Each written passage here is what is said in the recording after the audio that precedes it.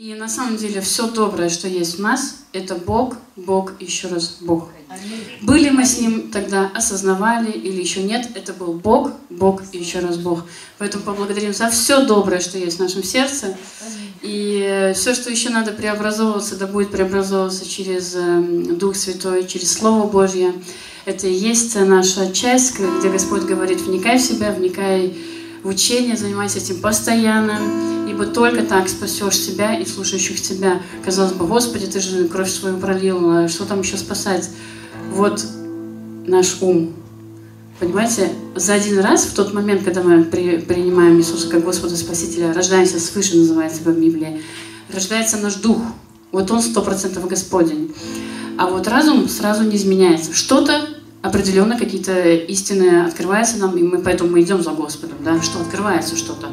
Ну, ой-ой-ой, как много еще чего надо вот там внутри, в нашей благословенной голове, преобразовать. И преобразовать, знаете, как однажды я слышала, что мысль может изменить только другая мысль. То есть вот сила пропорциональности, мысль, мысль. Поэтому э, можно даже очень сильно переживать Господа, все на своем месте, да, но если человек не читает Слово Божье, это дух. Дух он в тоже какой-то мере, конечно, влияет, но сто процентов, чтобы изменить мысль, это нужна просто другая мысль. Нам нужно поменять наше мышление, поэтому нам нужно возлюбить Слово Божье, как и Бога, потому что оно и есть Слово, оказывается, братья и сестры. Вначале было Слово, и Слово было у Бога, и Слово было Бог. Вот к чему мы пришли. Если мы любим Бога, значит мы действительно будем любить Слово Божье и заниматься этим постоянно, вникать в себя и в учение. Не временами, не какими-то этапами в жизни, а постоянно, слово постоянно. Это значит не прекращаясь, правильно? Вот так, если человек бодрствует, идет за Господом, естественно, очень вот, кстати, брат наш благословенный стоит, он в прошлый раз говорил, что если ты любишь Бога, то ты будешь Ему служить, ты будешь Ему верен, это правда. Вера без дел мертва. По делам видно, как истинное покаяние, плод покаяния, да? Называется «Совершите достойный плод покаяния», да? Достойный плод покаяния это будут и другие поступки.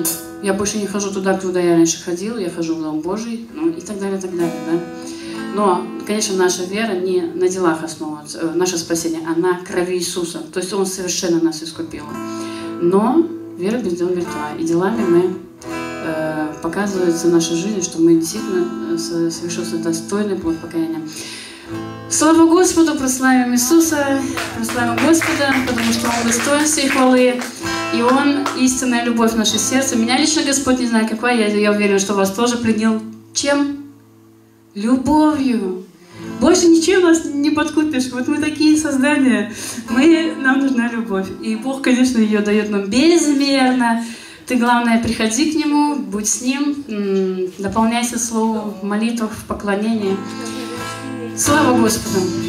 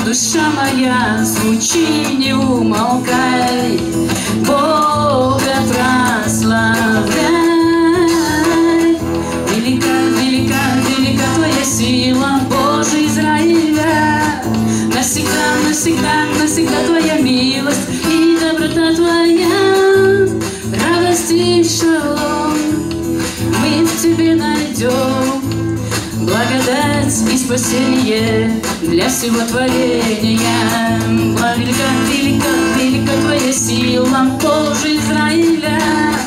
Навсегда, навсегда, навсегда Твоя милость и доброта Твоя. Радость и шалом мы в Тебе найдем.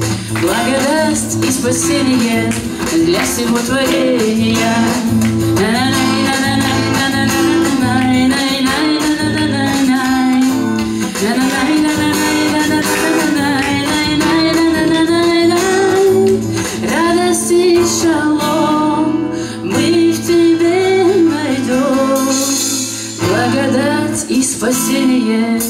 Для всего творения.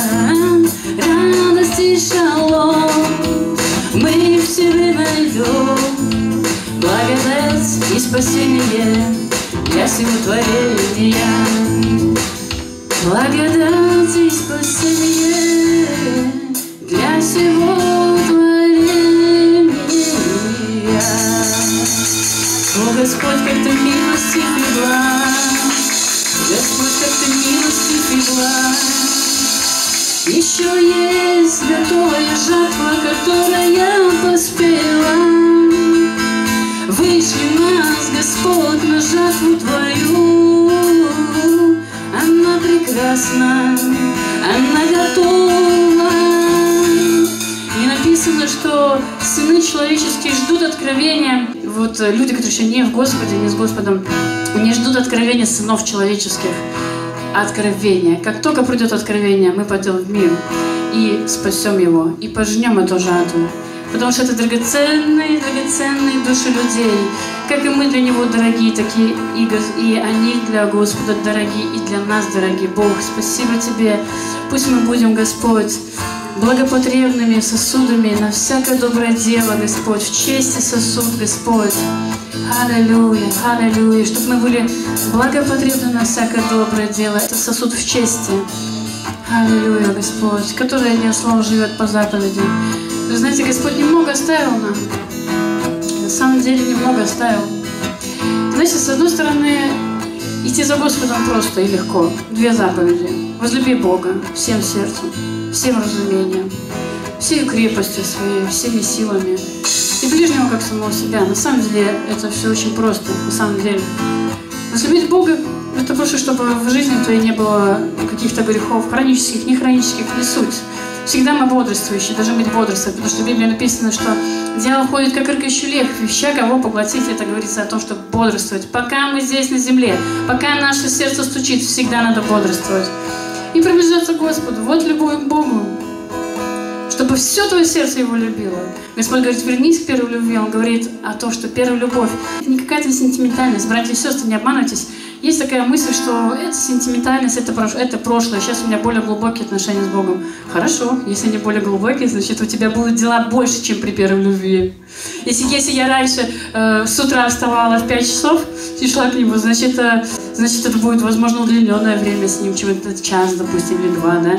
А если не проходил вечер, чтобы я к нему не пришла, и я благодарила Господу за день прожит, прожитый, за все, что Он являл благость и милость, в течение дня ты открыт для Него. И, знаете, в, таком, в, такой, в первой любви Господь всегда будет вести к большему.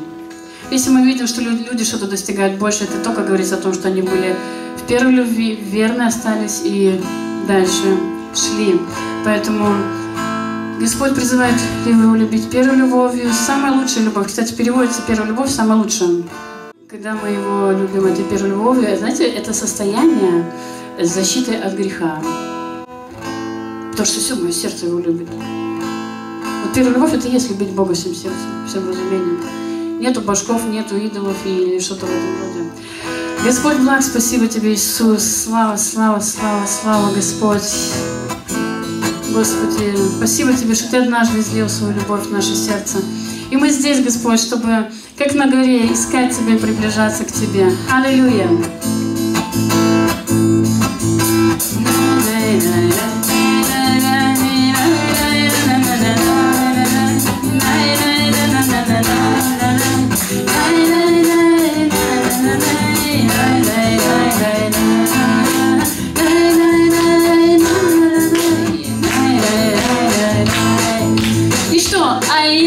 взойду, я взойду на твою святую гору, на твою святую гору, где течет слава твоя, вечная любовь, где течет слава твоя, вечная любовь.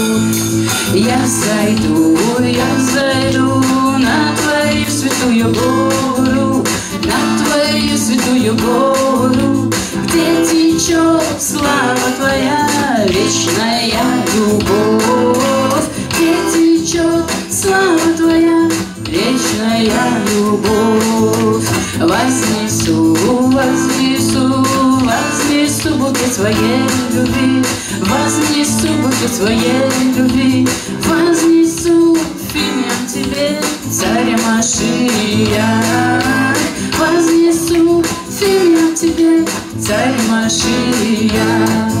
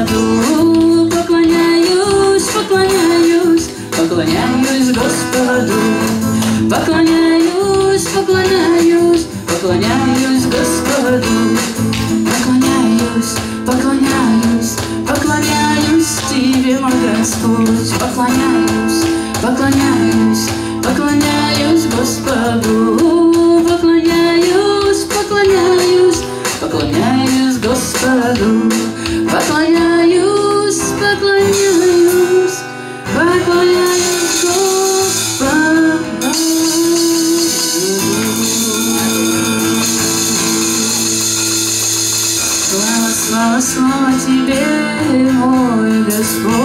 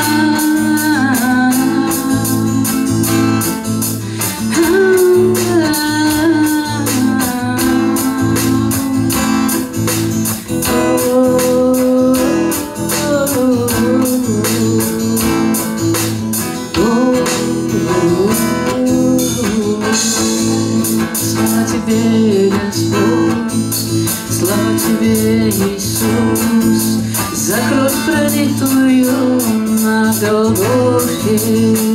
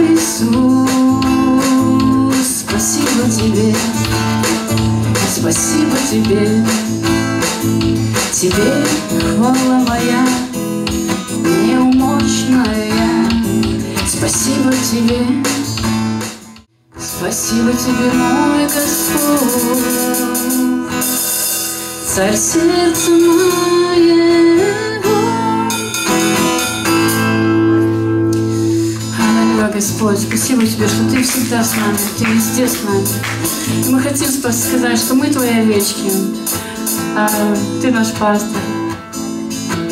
Знаете, что написано в Библии, что овцы знают голос пастора. Овцы Божьи знают голос Иисуса Христа. Он наш пастырь, мы его овечки. Поэтому, драгоценные,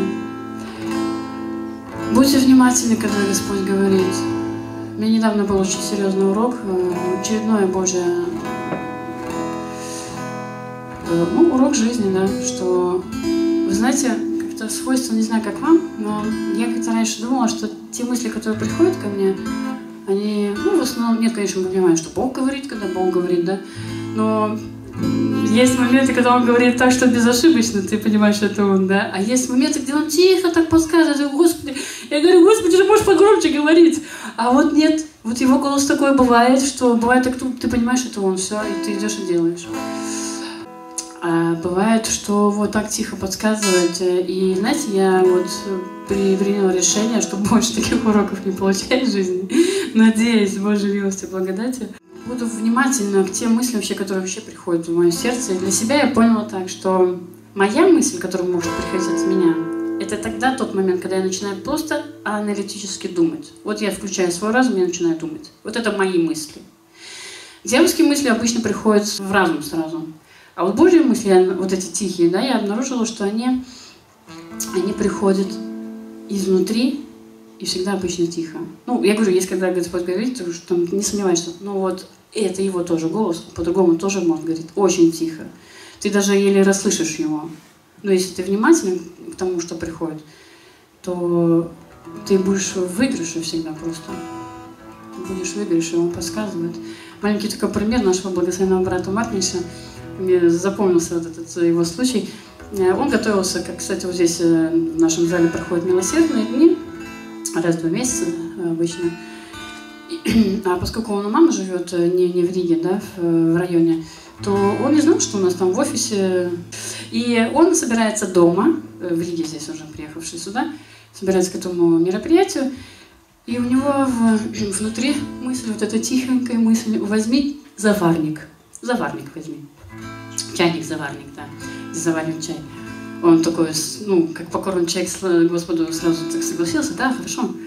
Потом что-то там другое собирал, собирал, и уже другая мысль. А зачем мне брать?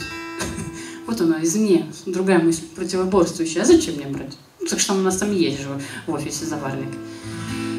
И он не взял этот заварник. И приезжает в офис, и ему докладывают, извини, брат, но мы тебя не предупредили, заварник у нас э, разбился, он стеклянный был. Ну, кто это сказал? И знаете, я раньше путала, что я думала, что это моя мысль. Ну как она может быть твоя? Я просто учусь понимать его голос. Ты не включил свой разум. Аналитически думаю, есть же там чайник или нету. Она вот так, знаете, вот такая хоп, приходит, как будто вот подсказка, как подсказка, действительно. И как только понимаешь, что это, ну не ты же сейчас начал включать свой разум аналитический, да, и ты уже вообще даже не знаешь, что там есть чайник. Вот это дай Господь нам вот так прислушиваться Божьим словам, Божьим мыслям, да, э, подсказкам, чтобы... И тогда мы просто будем в, всегда в победе ходить, не будем в проигрыше. И я скажу, что это важно вхождение для Господа вообще, да. Я понимаю, почему Господь так строго даже вот бывает э, такие уроки дает, да, почему вот не послушался этого тихого голоса. Потому что это будет э, важно в пробуждении, братья и сестры. В пробуждении будет важно. Господь будет, будет где-то говорить громко, а где-то будет очень тихо говорить. И если мы научимся слышать Его голос, различать Его голос, то, естественно, мы сможем быть благопотребными сосудами на всякое доброе дело. Слава Господу! И мы сейчас, Господи, мы Тебе споем, что Ты наш Господь, Ты наш пастырь, и что Ты везде всегда с нами. Спасибо Тебе, Господь, что Ты с нами, что ведешь на нас на злачной пажите. Успокаиваешь нашу душу. Спасибо Тебе, что Ты пришел в нашу жизнь. Аллилуйя.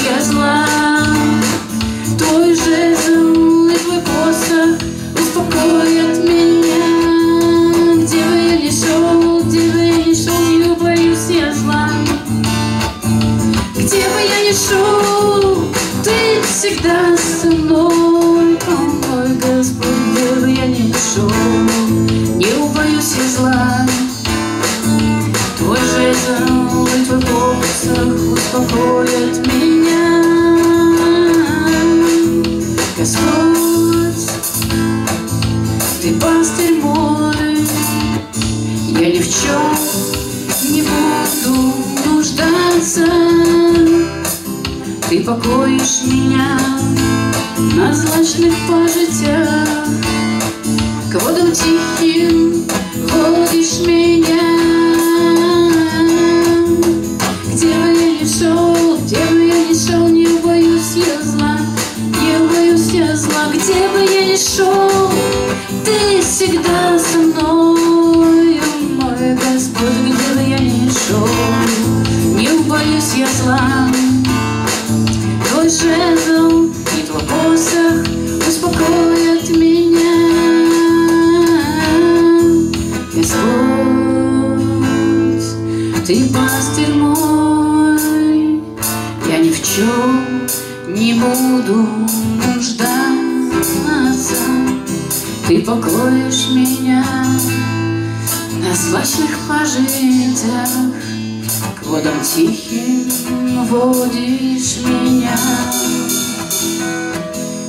к водам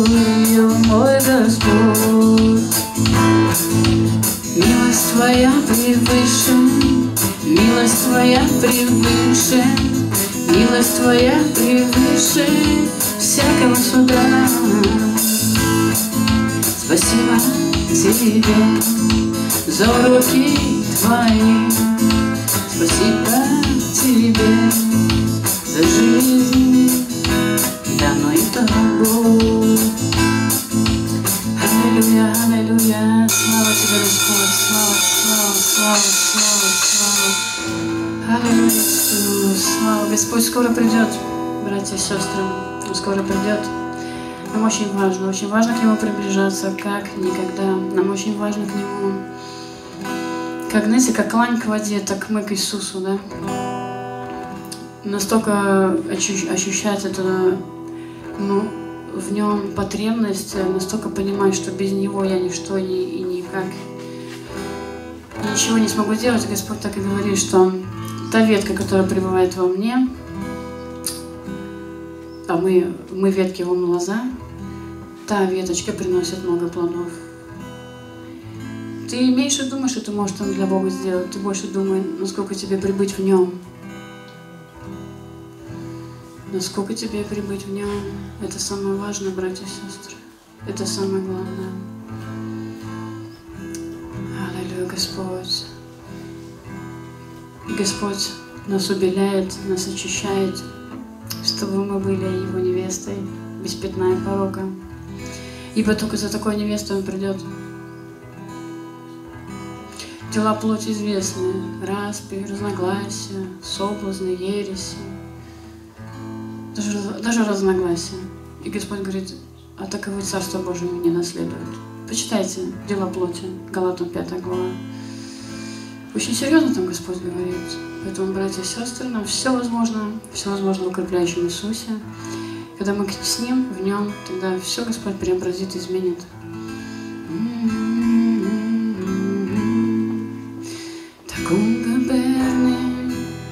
Vai dzirdat viņa balsi? Šīs laiks ir viss, esat gatavi, jo viņš nagdīs. Tā kunga bērni, neiztrukstieties, ņemusies.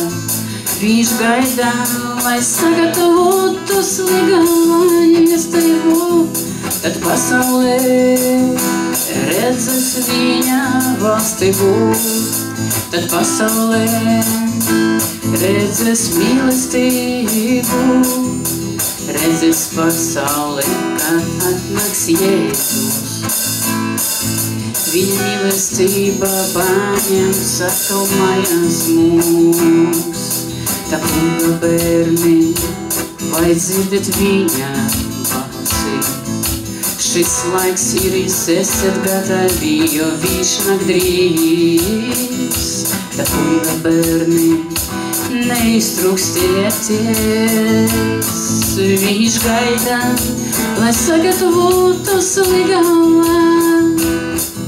Tad pasaulē redzes viņa valstību, tad pasaulē redzes mīlestību, redzes pasaulē, kad atnāks Jēzus. Viņa mīlestība paņems atkal mājās mūs. Sauc, aleluja, sauc, aleluja, sauc, aleluja, цениня. Взывай Господу, Sauc, aleluja, sauc, aleluja, cieniņā. Zivai Gospodu sauc, aleluja, sauc, aleluja, sauc, aleluja, cieniņā. Sauc, aleluja, sauc, aleluja, sauc, aleluja, cieniņā. Такого бедный, дети Божьи, его голос о том, что время коротко, и он скоро придет. Дети Божьи, не волнуйтесь, он ждет, он ждет, когда приготовится его невеста. И тогда мир, тогда мир увидит его власть через освященную, преображенную святую церковь, невесту. Он увидит власть, мир. Аллилуйя, увидит любовь Господню через тебя и меня. И этот мир увидит приход Иисуса. И Его любовь нас заберет в небеса.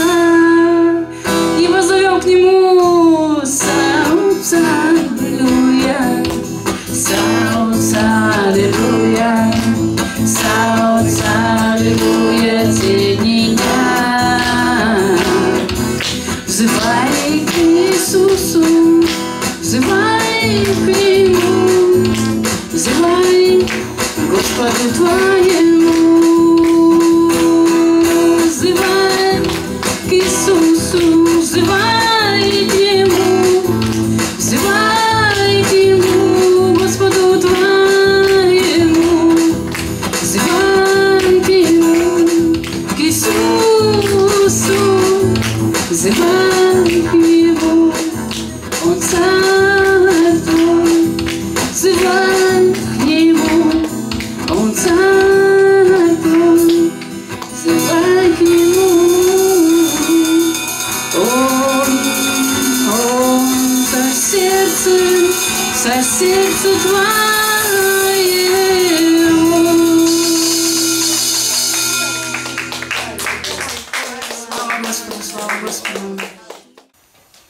И нам история Израиля в Библии показывает, как Бог обличал Израиль, обличал в пустыне и исправлял сердца людей, чтобы они стали более дружелюбными, более любящими друг друга.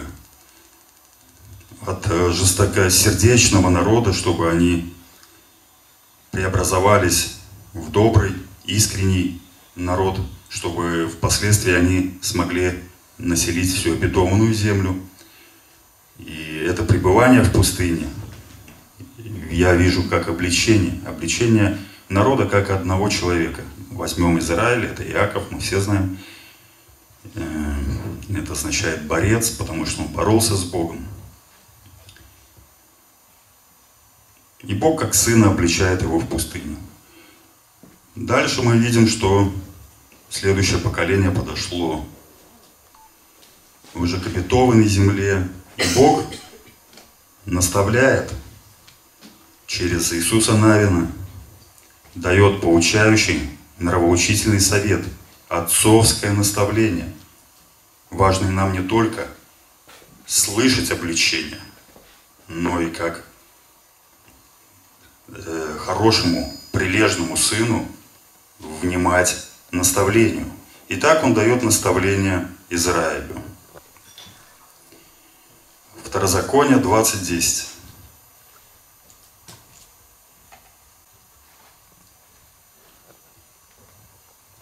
Когда пойдешь к городу, чтобы завоевать его, предложи ему мир.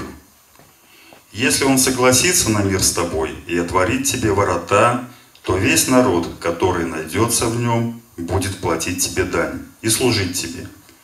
Если же он не согласится на мир с тобой и будет вести с тобой войну, то сади его. Аминь. Здесь ключевые моменты, которые мы должны увидеть. Это отворит ворота. Если город отворит ворота, если город откроет, поднимет ворота, можно сравнить это с нами. Если мы выносим в свет, рассказываем, каемся ближнему о наших прегрешениях, мы будто словно открываем ворота. И Свет Божий входит в нашу жизнь. Мы не ведем порочный образ жизни.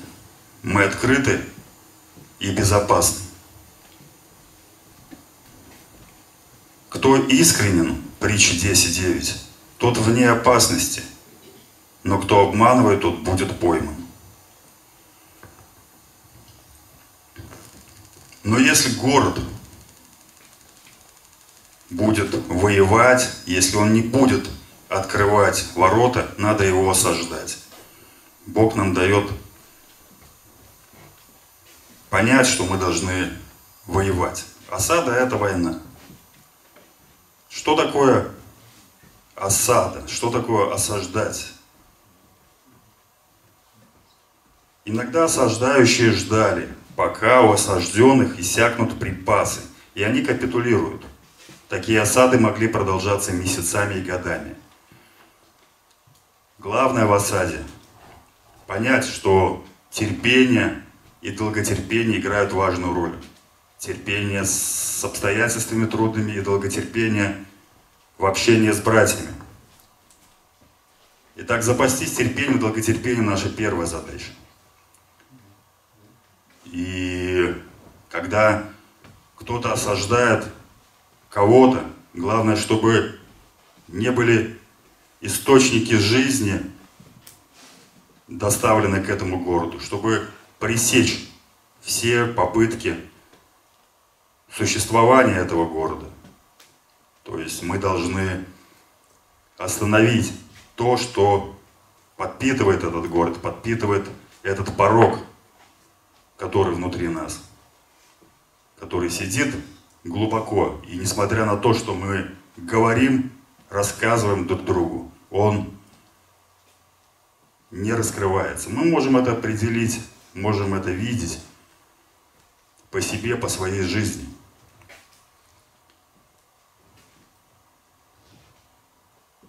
Значит, мы осаждаем. Нам не надо строить города, деревни рядом с этим городом.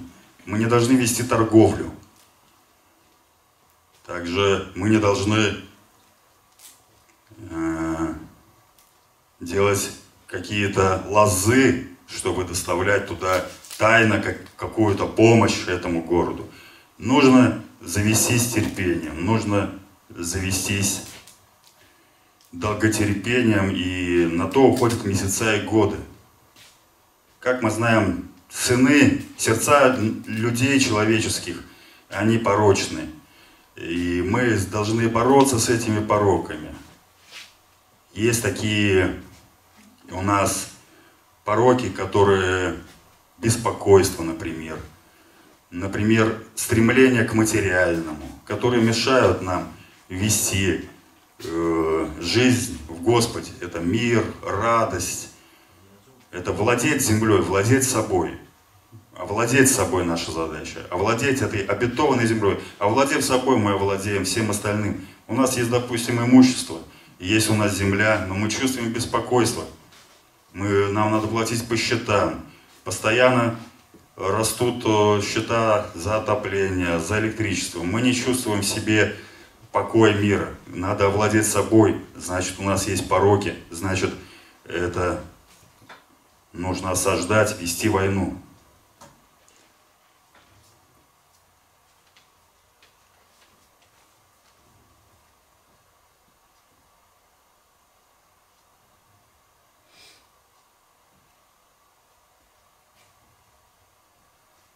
Итак, компромиссы с миром – дорога к порочной вере. Не строй деревни с этим городом.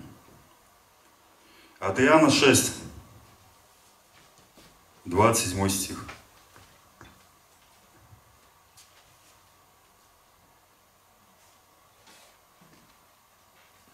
Старайтесь не о пище тленной, но о пище, пребывающей в жизнь вечную, которую даст вам Сын Человеческий, ибо на нем положил печать свою Отец Бог.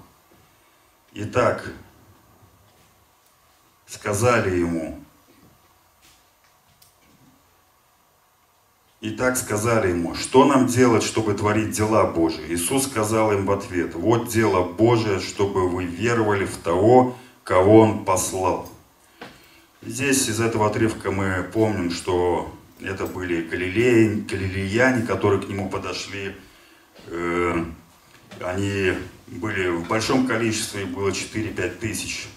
Но они э, не шли за тем, чтобы Э, слышать слово его, а они просто хотели видеть, ну, хотели просто кушать хлеб, который Иисус преобразовывал просто из ничего. Они подумали, что очень действительно неплохо. Покушать можем и увидеть чудеса. Но Иисус говорил, что чтобы делать дела, вы должны уверовать меня. То есть э, многие идут за Иисусом, чтобы видеть какую-то привилегию, какую-то там небольшую может быть, какое-то благо видеть, но нам надо понимать, что мы должны веровать в Иисуса Христа. Это и есть то дело, которое мы должны делать.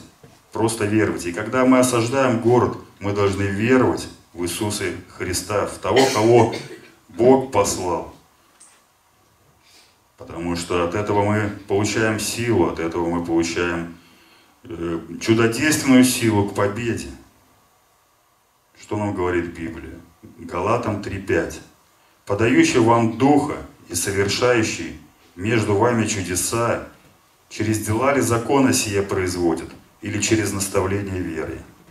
Через наставление вере производит Бог чудеса, совершающий между вами чудеса. Он совершает чудеса через наставление вере. И верой, только верой, мы,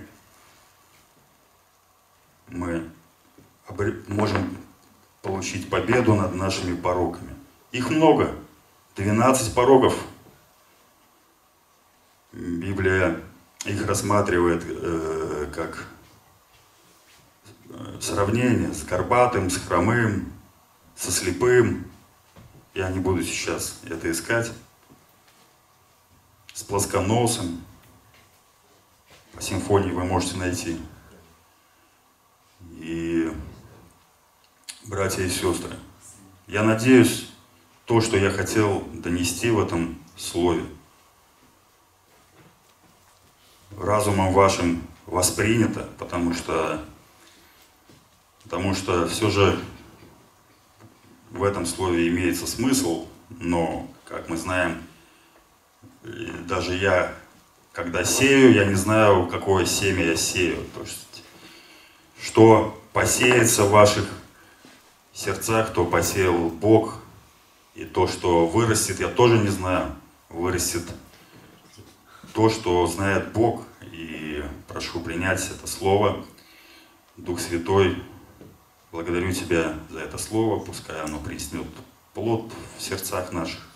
Пускай оно произрастет, пускай оно будет живым и действенным. Пускай оно впустит свет в нашу жизнь. Во имя Иисуса Христа.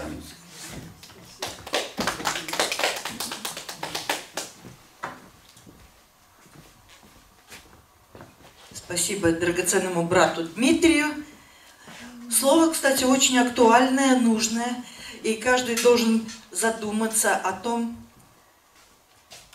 как еще над собой поработать. Это нам очень необходимо. И хочу продолжить в том плане, что человеку одному справиться совсем очень нелегко.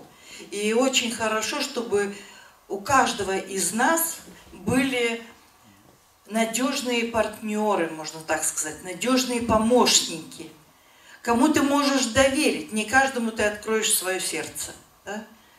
Вот. И поэтому я хочу еще продолжить э, тему, то, что сказал Дмитрий, о помощниках наших. Мы знаем прекрасно начало Библии, вторая глава Деяния, ой, извините, вторая глава Бытия.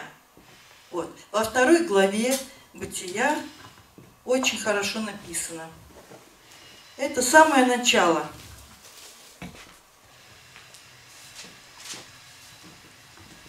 Где говорится, и сказал Господь Бог – Нехорошо быть человеку одному. Сотворим ему помощника, соответствующего ему. Если даже в самом начале, когда Бог сотворил все, а потом человек сотворил, и Бог увидел, что одному человеку очень нелегко. И вначале э, Господь дал поручение Адаму, Адам назвал всех животных, птиц, дал ему им всем имена. Представляете, какая у него память была, да, и, и какие возможности, чтобы всех зверей назвать. Да? Но ни одно животное не подошло ему в помощники. Не нашлось, он все равно э, тосковал, можно сказать, да. И в 20 стихе говорится, «И нарек человек имена всем скотам, птицам небесным, всем зверям полевым, но для человека не нашлось помощника, подобного ему». Вот на этом я тут остановлюсь, потому что каждому из нас нужны помощники. Вот сегодня наш пастырь Скайдрита, она служит в районе, ее сейчас с нами нет. И, к сожалению, часто бывает такое, что когда люди узнают, что пастыря нет, они почему-то принимают решение не быть э, в церкви, на святом месте. Как будто бы Дух Божий не будет сегодня работать, как будто бы Господь сегодня нас не собирается благословлять. Слава Богу за каждого из вас.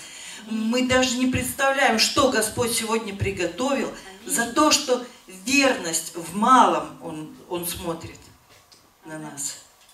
Аллилуйя. Аллилуйя. И как мы можем вспомнить э, тот момент, когда Моисей молился, там война была, как сейчас э, много где проходит, и его руки оттяжелели, падали. Руки падали, наши проигрывали, поднимали руки помощники, наши выигрывали, да. Опять Поэтому нам нужны эти помощники, чтобы друг другу помогать, поддерживать э, руки друг Амен, другу. амен, амен. Аллилуйя. Мы просто нуждаемся в помощниках. А чтобы у нас были эти помощники, конечно, надо молиться друг за друга, общаться, чтобы видеть, чтобы у нас были одни мысли, одни чувствования, чтобы мы были едины, чтобы одно учение у нас было, чтобы мы собирались по домам, преломляли хлеб, чтобы мы занимались тем, э, чему нас учил Иисус Христос. Слава Богу. И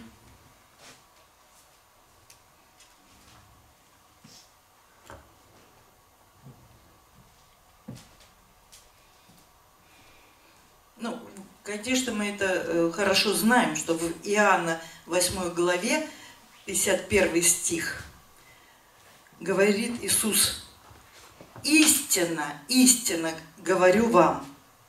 Знаете, когда Господь дважды даже говорит, и так говорит, истинно, истинно говорю вам, кто соблюдает Слово Мое, тот не увидит смерти вовек. Вот прям каждое слово. Вот э, я вчера читала, и меня это приятно удивило даже. Спасибо. Как должно нам соблюдать Слово Божье? Соблюдать, чтобы пребывать с Ним всегда. И это гарантирует нам, что мы не увидим смерти вовек. Аллилуйя, слава Господу. А верность наша начинается с малого совершенно. И как в, э, в Иакова во второй главе, 17 стихе говорится, так и вера, если не имеет дел, мертва сама по себе. Да? Чтобы мы не обманывали даже самих себя. Ну какие тогда мы служители, если мы э, элементарно друг другу не можем помочь? А вот в этом э, заключается любовь, о чем сегодня э, прославляла, когда Юлечка и говорила о Божьей любви. Вот это самое главное нам преображаться в образ Божий, а чтобы преобразиться в Его образ, это наполняться Его любовью. А в любви, мы знаем, в любви есть сострадание, в любви есть э, нету страха, конечно же. Любовь не завидует, не ищет своего. Любовь милосердна. Любовь, она действенна. И очень хочется, чтобы у каждого из нас были очень надежные помощники. Очень надежные. Вот у нашего пастыря представьте, вот не было бы помощников. Каждый сам по себе, и что, пастырю никуда не отлучиться. Пастырь отойдет, и все овцы рассеялись. Вот так. Не дай Бог, чтобы так было. Не дай Бог. В Экклесиаста в 4 главе 9-10 стих. Можете потом прочитать тоже, но я главное скажу. Там написано, что если один упадет, то другой поднимет товарища своего. А если рядом нету товарища?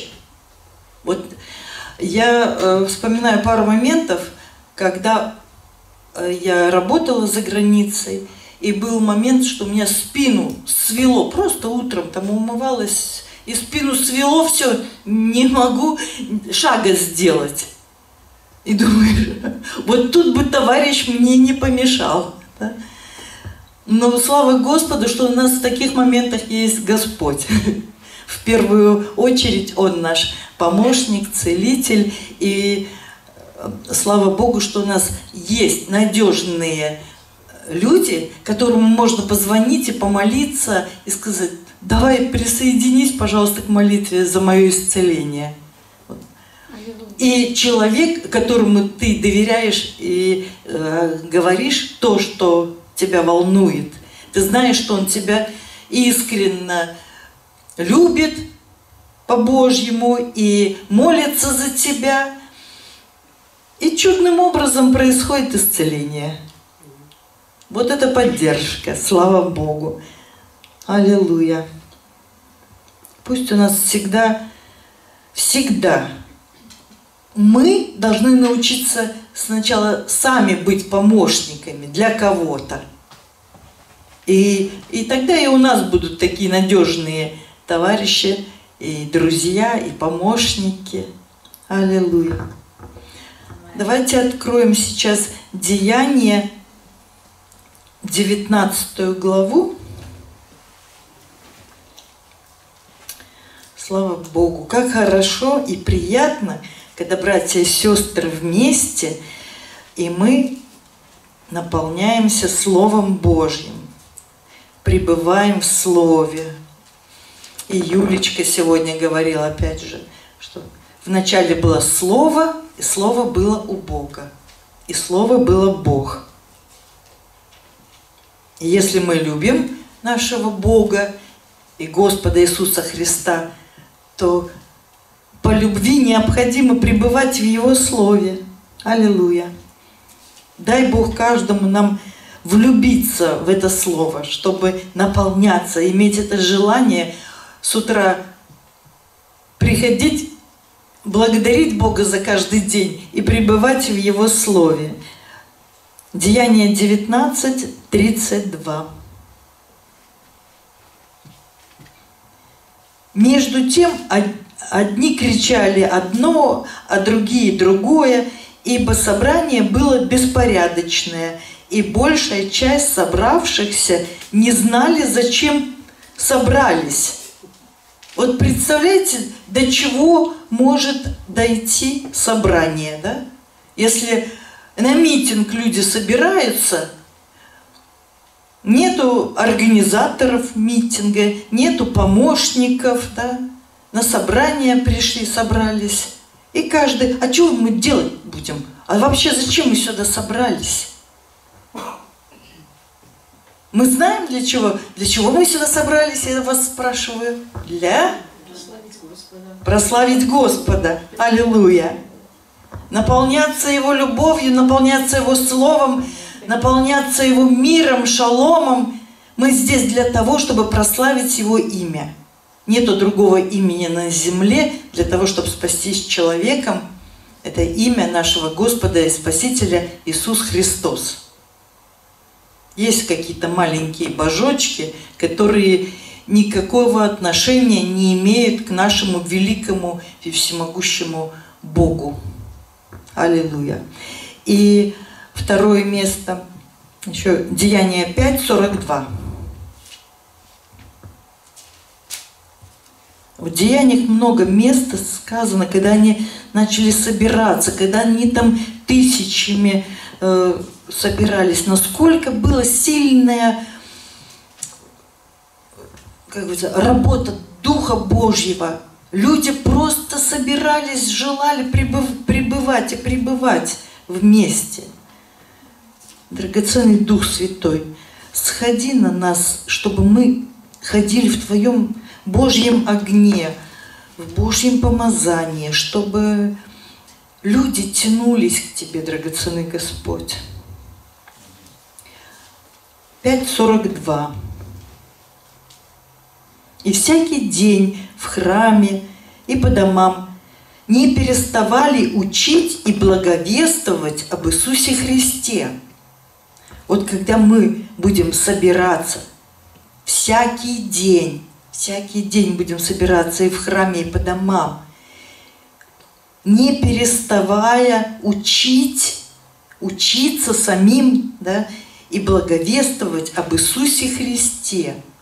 тогда не будет у нас так, как мы сейчас прочитали в прошлом стихе, что они собрались и сами не поняли, для чего собрались. Хочу там Марину увидеть, хочу Юлечку увидеть, там, да? поздороваться с Дмитрием. Да? Аллилуйя. Нет, мы должны знать, для чего мы. Э, тогда ты бежишь на это святое место, ты не устаешь пребывать в Слове Божьем, в молитвах, не, не смотришь на часы, когда время закончится. Да?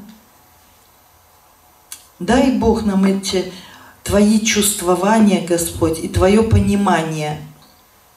Аллилуйя. Слава нашему Господу. 1 Коринфянам в первой главе, 10, 10 стих,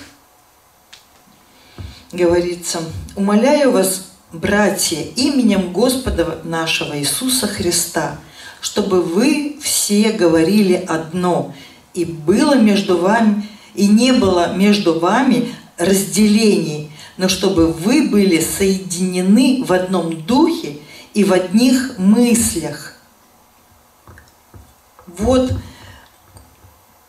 одно из самых главных я вижу, нам быть един, в единстве, как Отец, Иисус сказал, Отец во мне, я в нем, вы во мне, и я в вас, чтобы будьте едины, как и мы едины. Вот Бог Отец, Сын и Дух Святой. Интересно, если бы они поссорились. Я так не задумывалась даже. Вот они едины. Дух Святой исполняет свою часть, Иисус свою часть, а Бог Отец свою часть. Но они едины. И дай Бог это единство между нами. А чтобы у нас было это единство, нам надо пребывать в учении Божьем. Чтобы в учении пребывать, надо наполняться Словом. Чтобы Словом наполняться, надо наполняться Его любовью и иметь, дай Бог, это жажду по Слову. Вот чтобы мы были этой солью и светом этой, этой земле. Аллилуйя. Когда будем наполнены Божьим Словом, тогда нам легко будет Духу Божьему из нас изливать это Слово в помазании, в силе, чтобы это касалось каждого сердца. Во имя Иисуса Христа. Аллилуйя.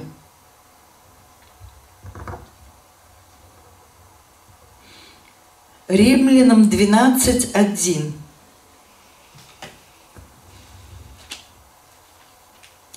Слава Господу Иисусу, слава Господу Христу.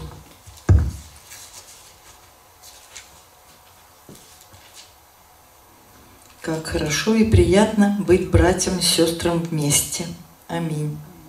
Итак, умоляю вас, братья, милосердием Божьим – Представьте тела ваши в жертву живую, святую, благоугодную Богу. Для чего? Для разумного служения вашего. Слава Богу! Да будет наше служение разумное. Мудрости нам от Господа. Кому не хватает, да просим у Господа. Он дает нам Просто и без упрека. Просто и без упрека. Аминь. Слава Господу. Иоанна 12, 26. Сейчас несколько мест я еще хочу прочитать. И все это мы объединяем вместе. Объединим. Иоанна 12, 26. Кто мне служит, мне да последует. И где я, там и слуга мой будет. И кто мне служит, того почтит Отец мой. Вот в этом стихе, когда мы говорим, я Богу служу, я служу Богу. Но если я не могу подчиниться человеку, то я лжец, Если ты не можешь видимому человеку подчиниться и говоришь, что ты Богу подчиняешься и служишь Богу, ты лжец. Невозможно э, э служить Богу и не служить ближнему. Поэтому все проверяется вот между нами, здесь. Да будем мы действительно верными. Еще следующий стих Иоанна 15, 8. И здесь говорится, «Тем прославится Отец мой, если вы принесете много плода и будете моими учениками». А для того, чтобы быть учеником Божьим, да, можно учиться самоучкой. Есть такие самородки, вот он э, сам изучает, изучает, и Бог с ним отдельно, может быть, работает и все. Но по большому счету все-таки нам необходимо учиться у тех учителей, у которых уже есть эти знания, чтобы не изобретать велосипед. Есть семинары, есть библейская школа, есть домашние группы, есть братья и сестры, с которыми мы когда общаемся, молимся, размышляем над Словом Божьим, и мы э, учимся друг от друга. Поэтому нам необходимо вместе собираться. Сейчас очень часто некоторые, я смотрю через интернет, смотрят. Это слава Богу, что есть интернет – Аллилуйя, если такая уже сложная ситуация, что вы не можете пребывать на святом месте. Через интернет человек тоже что-то получает. Ну, что-то получает. Но если есть возможность, и ты сидишь там на диване, да, лень поднять пятую точку, это уже лукавство какое-то, это уже ленность себя принести в Дом Божий. Аллилуйя. Но самое главное – это любовь Божья. И мы все знаем, что Господь нас любит и желает, чтобы все мы вместе были, чтобы мы э, познавали Его Слово, Его истину познавали. Слава Богу, что Он Бог есть любовь, Бог имеет огромное терпение к нам, прощает наши какие-то погрешности, наставляет нас. Он наш первый наставник и учитель. Слава Богу за Иисуса Христа. И я благодарю вас всех что вы внимательно все слушали. Я думаю, что каждый из нас возьмет для себя что-то на заметочку по поводу быть помощниками и поддерживать друг друга. И тогда церковь будет более крепкая, и, и будет еще при, прибавляться народ. Потому что мы этого мы желаем, а Бог еще больше нас желает, чтобы люди имели спасение. Поэтому я хочу сейчас еще пригласить служителя нашего Андреса, который как раз продолжит в этом направлении, чтобы церковь росла. Спасибо большое.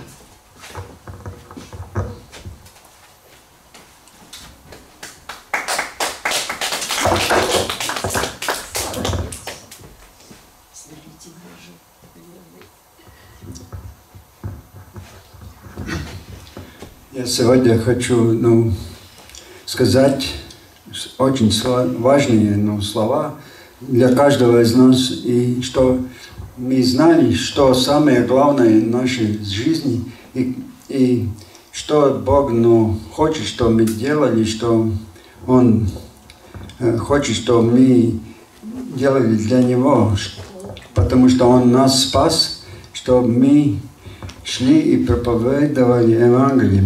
Это написано в Библии, и Бог это хочет, чтобы мы делали. И когда я пришел к Богу, когда я стал верующим, когда я родился свыше, что самое первое, что мне хотелось сделать, это мне Бог это побудил это делать, э, рассказывать людям по Иисусу. И, и я понял, что самое важное в жизни это верить Иисусу. Поэтому, когда я иду евангелизировать, людям рассказывать Евангелие, я все время, ну, когда с ним начинаю разговаривать, я сперва ему, им хочу рассказать, рассказывать, почему людям нужен Иисус. Почему человеку нужен Иисус, потому что многие люди, оказывается, в этом мире не знают, почему нужен Иисус. Они слышали по Иисусу, но они не понимают, почему Он нужен. Этот Иисус, почему нужен. Потому что мы знаем, что Бог так возлюбил мир, что отдал своего единородного Сына, чтобы каждый, кто верует, не погибл, но, но имел жизнь вечную. Это Иоанн 3,16 написано.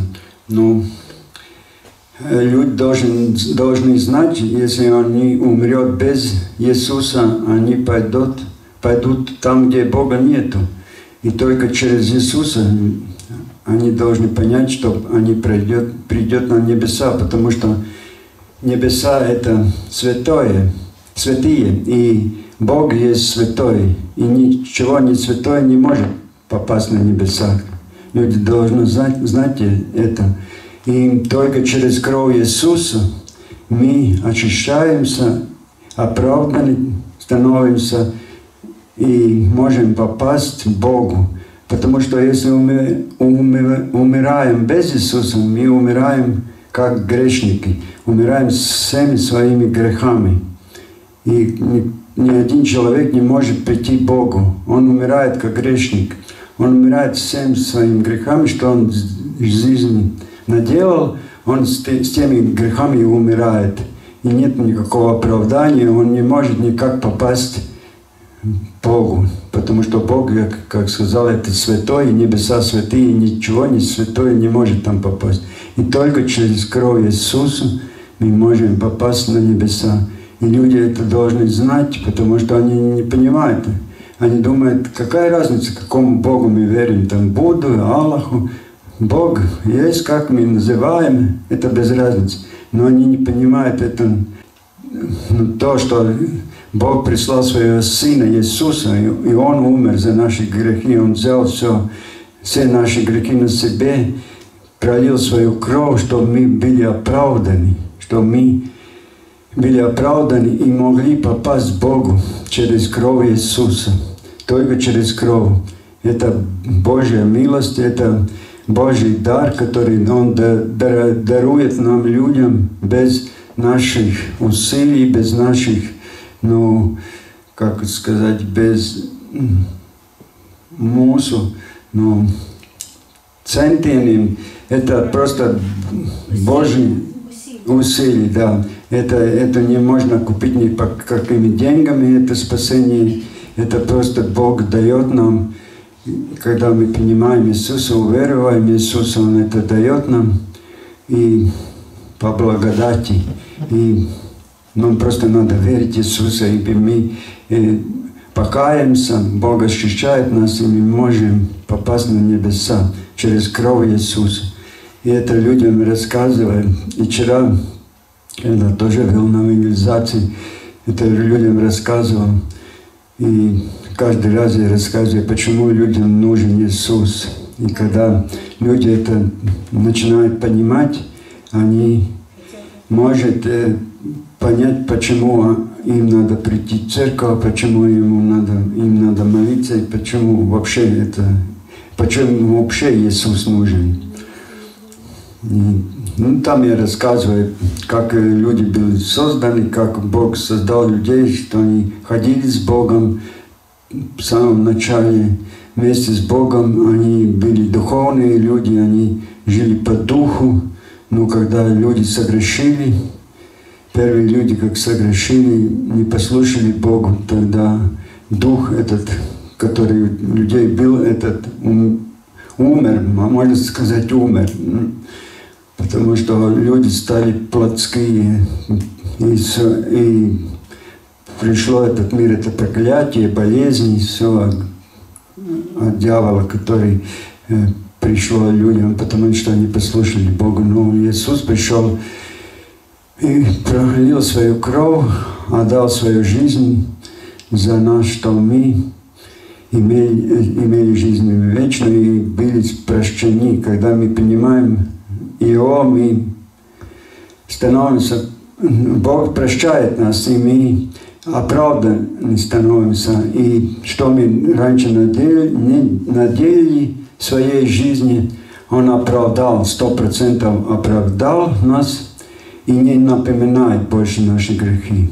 Он так оправдал, когда мы принимаем Ему, что Он уже не напоминает. И что ты раньше делал в своей жизни, Он, Бог, в Библии написано, забыл. Он, он не напоминает. И, и если даже какой-то человек хочет тебе напоминать, что ты раньше делал, ты, с- ты можешь сказать уверенностью, что ты оправдан, и Бог тебе не, не напоминает это, или ты не знаешь, о чем ты говоришь, это уже, уже не- в моей жизни нету.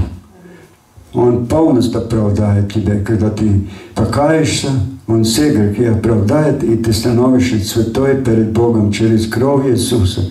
И только так мы можем попасть на небеса.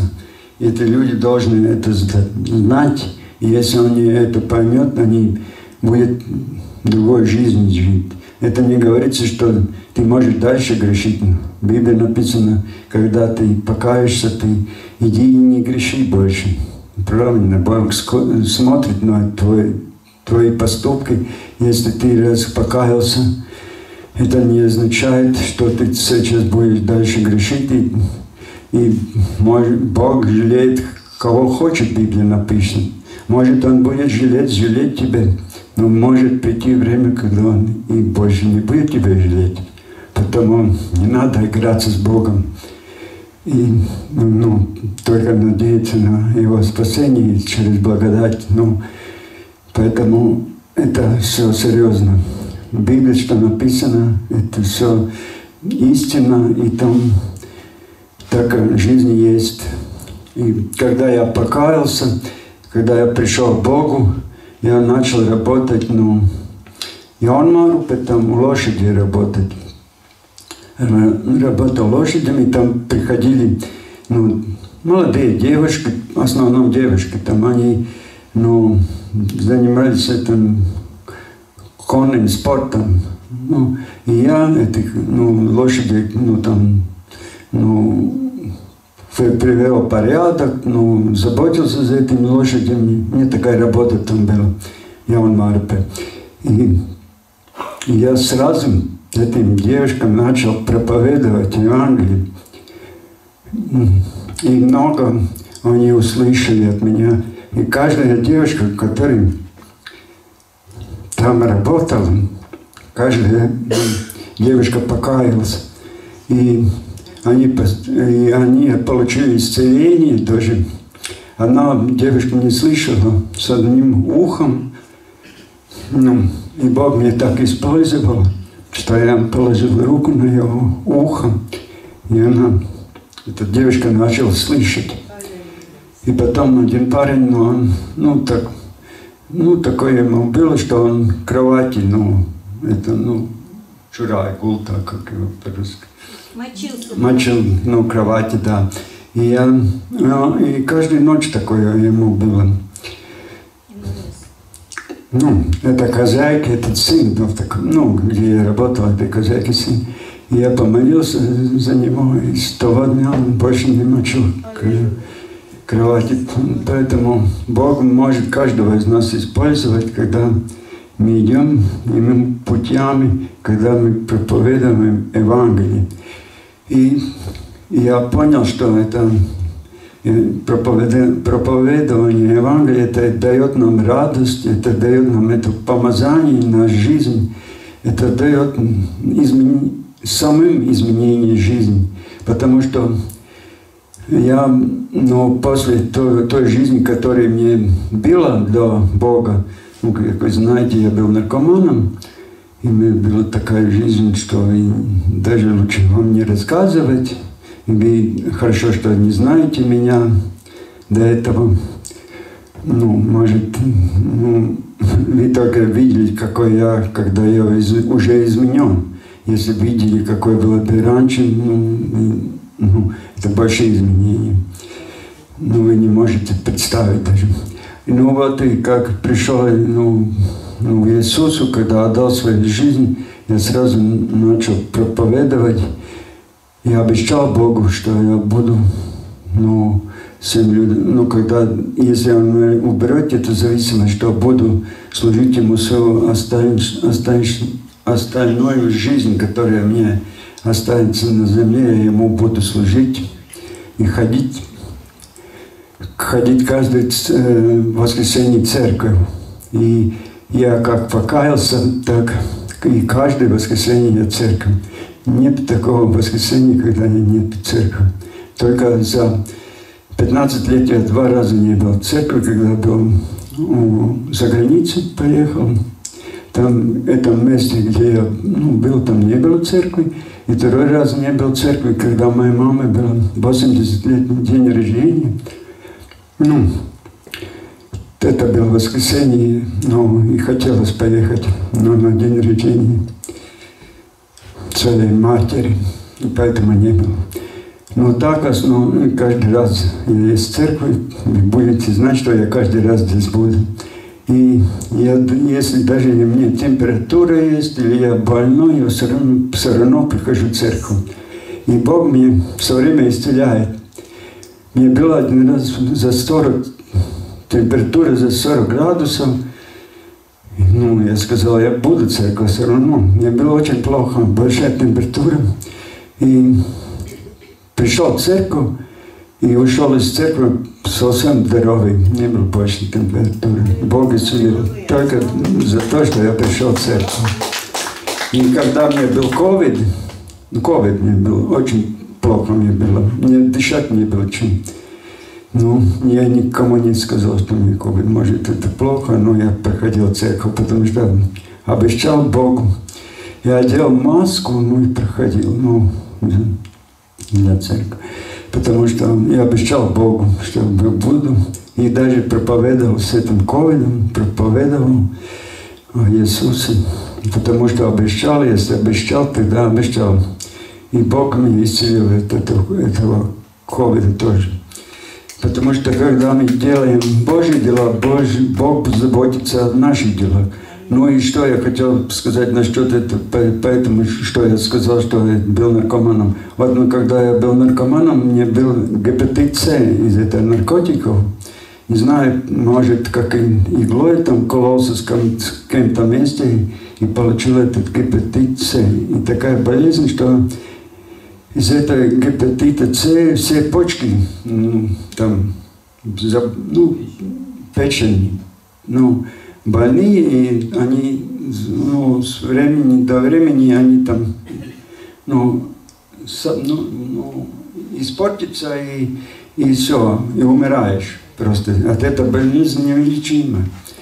Ну, и я ну, хотел, чтобы Бог меня излечил ну, этой болезни. Когда я уже пришел к Богу, я сдал анализ, у меня был этот гепатит. И поехал везде. Поехал в Украину, там разных проповедникам, на служение исцелений. Был у Бенихина, там даже это, ну, который знает Бенихин, который ну, такой, кому есть дар исцелений от Бога. Но тоже не исцелился как-то, не знаю почему. После этих служений сдавал анализы, все время был этот гепатит И потом я ну, сказал Богу, ну, если я, ты не исцеляешь меня, я буду, ну, я буду тебе служить все равно. И продолжал служить ему, ходил на улицах проповедовать и служил Богу. И где-то через год, ну, пришел сдавать анализы. И сдал анализы, и больше нет этой гепатиции. Бог сам исцелил меня. Так что, если у вас какая-то болезнь есть, мне так Бог делает. Если я служу Богу, Он исцеляет меня. Когда я забочусь о них, о Его делах, Он заботится о, моих, о меня. И все время исцеляет, когда я Ему служу. Если я прихожу в церковь больной, Он исцеляет обязательно церковь.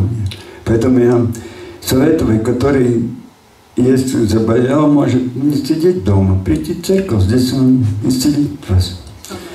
Это есть место, где приходят нездоровые люди, большинство ну, больные.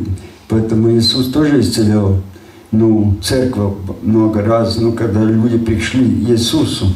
Здесь собрание, есть собрание, где много, ну, мы все, когда приняли Иисуса в нас Святой Дух, и мы живем с Богом, и, и если мы будем молиться за какого-то человека. Один молится, это один молится, но когда много молится за человека, это больше силы, правильно?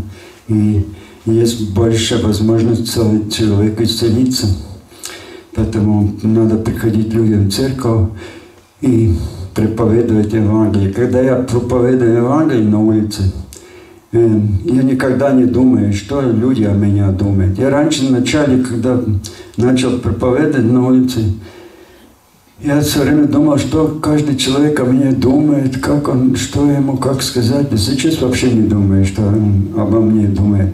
Я думаю, как Бог на это смотрит, и знаю, что Богу это угодно, и просто иду, не думаю, там богатый или бедный, или и он какой-то выглядит, что ему не надо, я всем подхожу, не смотрю, какой это человек. Я ран, раньше подходил больше таким, ну, бедным людям, а сейчас иду всем подряд. Богатый, он бедный, он на, на дорогой машине едет или на какой-то простой машине, подхожу, я проповедую, потому что Иисус надо каждому человеку, и богатому, и бедному, правильно? И надо нам проповедовать Евангелие. Это Бог сказал нам. Бог сказал в своем слове, это чтобы мы шли и проповедовали Евангелие всем народам. И мы это делаем. Я обещал Богу и делаю это до сих пор. И, и главное, когда ты идешь этим людям, Бог тебе дает такую радость. Внутри такая радость. Ну, это Ничего другого нет такой радости, только когда ты проповедуешь. Когда ты говоришь слово «Иисус», тогда тебе сразу радость наполняет.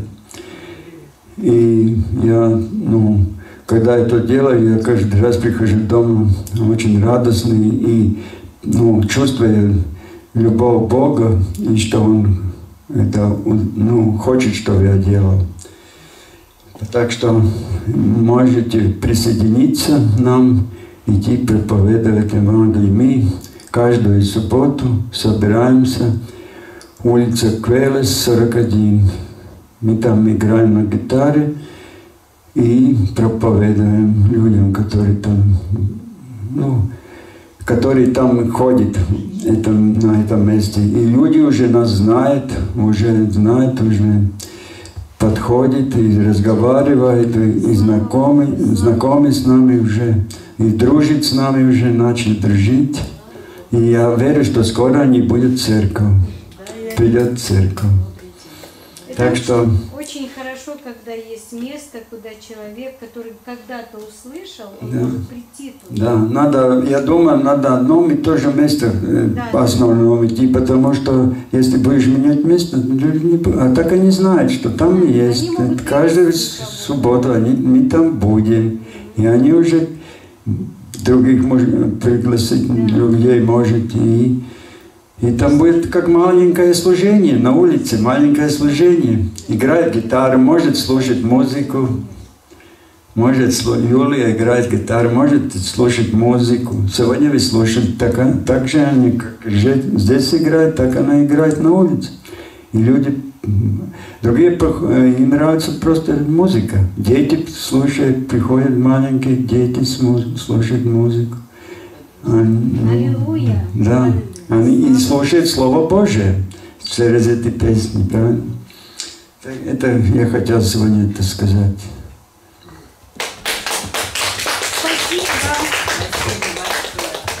Спасибо большое, Андрес.